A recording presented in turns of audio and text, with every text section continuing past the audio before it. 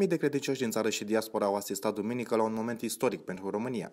Sanctitatea sa, Patriarhul Ecumenic Bartolomeu, și prea fericitul Părinte Patriarh Daniel au sfințit Catedrala Mântuirii Neamului. La sfințirea catedralei din dealul Arsenalului, care a reprezentat un moment definitoriu pentru anul centenarului în România, a fost prezent și în alt preasfinția sa, Calenic Argeșanul, arhiepiscopul Argeșului și Mușcelului. Proiectul Catedralei Naționale a apărut imediat după războiul de independență, dar s-a concretizat la 100 de ani după Marea Unire, în timpul Patriarhului Daniel al României. Potrivit rânduielii, au avut loc mai multe momente liturgice în exteriorul catedralei, locașul de cult fiind uns cu Sfântul și Marele Mir și stropit cu aghiază miasmă. Apoi, soborul slujitor, condus de Patriarhul Ecumenic, a intrat în Sfântul Altar unde a continuat rânduiala Sfințirii Catedralei, aflată în dealul Arsenalului. Piatra de temelie a Catedralei Mântuirii Neamului a fost sfințită în 29 noiembrie 2007. În data de 4 septembrie 2016 a fost oficiată prima liturghie la catedrală. În prezent, locașul de cult este finalizat în proporție de 95%. Slujba de sfințire a fost urmată de prima Sfântă Liturghie, oficiată în Catedrala Națională, slujbă prezidată de Patriarhul Ecumenic. Patriarhul Ecumenic a dăruit Patriarhului României o icoană a praznicului înălțării Domnului, pictată special pentru noua Catedrală Națională, la cererea sanctității sale la mănăstirea Xenofont din Sfântul Munte Atos. La rândul său, Patriarhul Daniel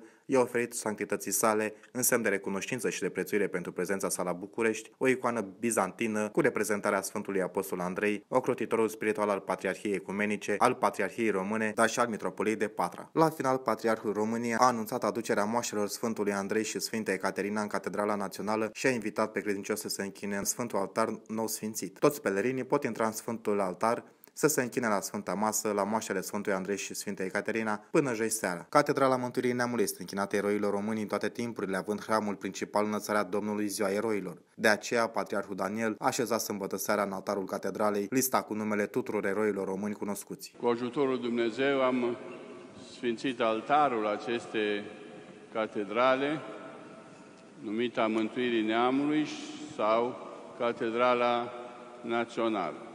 Dăm slavă lui Dumnezeu și mulțumim tuturor celor care ne-au ajutat și care ne vor ajuta în continuare, pentru că, așa cum se vede, mai sunt unele lucrări pentru terminarea turlei Pantocrator, turlei centrale, dar după aceea urmează pictarea bisericii în mozaic. Sperăm ca peste trei ani să revenim la Sfințirea Picturii în această catedrală.